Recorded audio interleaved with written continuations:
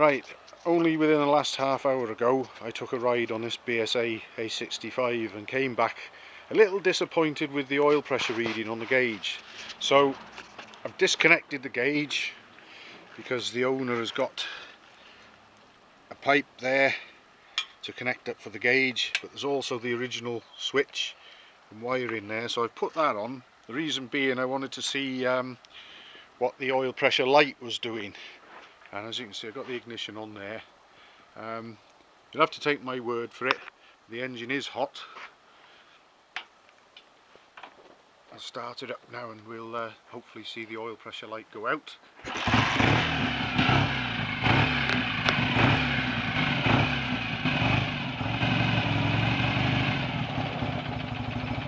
We are.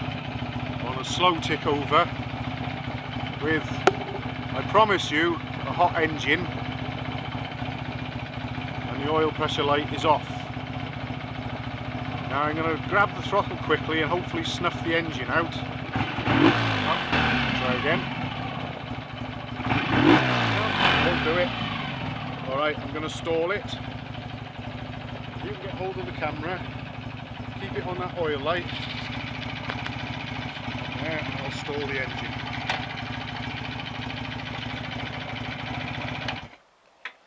Yeah, so the oil light's working. I'll just start up again, just to prove it.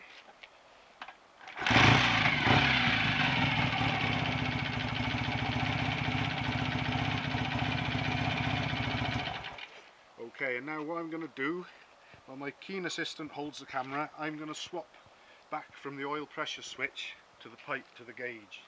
And we'll see what the readings are on the gauge. Because if you go by the light, which is the original fitting, which lights up when the pressure drops below 7 psi, everything looks okay. And the um, figures I found for oil pressure on this, uh, according to um, supposedly BSA themselves, were between 3 and 4,000 RPM you're going to see about 40 to 45 psi on a pressure gauge.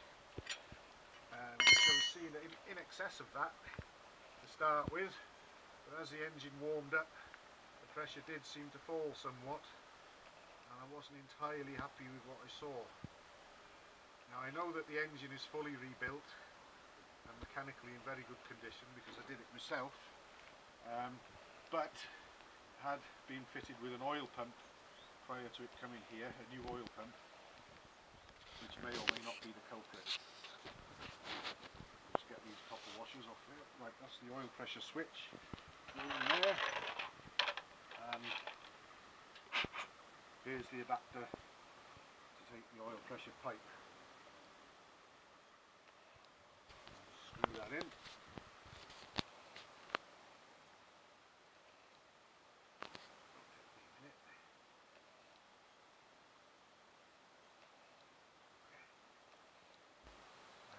this way at least we'll have continuity non-stop from running it with the oil pressure light connected to having the gauge connected and hopefully be able to make a comparison and see what's going on. You have to bear with me because unfortunately this exhaust pipe is rather hot. It hurts me fingers as I touch it. I'm screwing the oil pressure gauge pipe on now. We'll be able to start up again in a moment. See what we got there.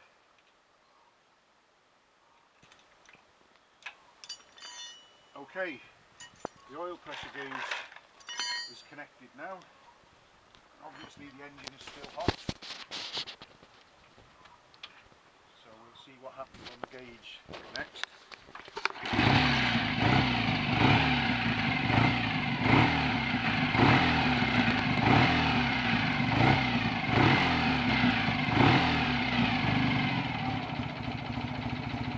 Now we'll let it fall back to a tick over.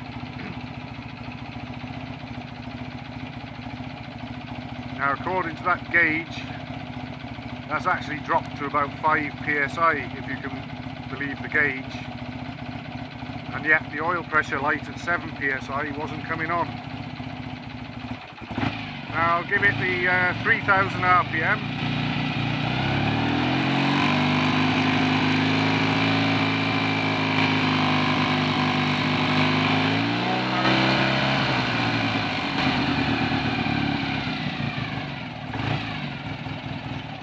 Well, believe it or not, according to the uh, BSA information, the figure that we've got there at 3 and 4,000 RPM is respectable enough.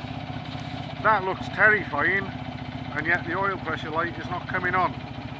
So, draw your own conclusions as I will. Um, at very worst, there we stop now, and there's the pressure dropping to zero. At the very worst, um, the oil pump could possibly be not at its best, although it seems to be a very recent fitment. Uh, time to speak to the owner I think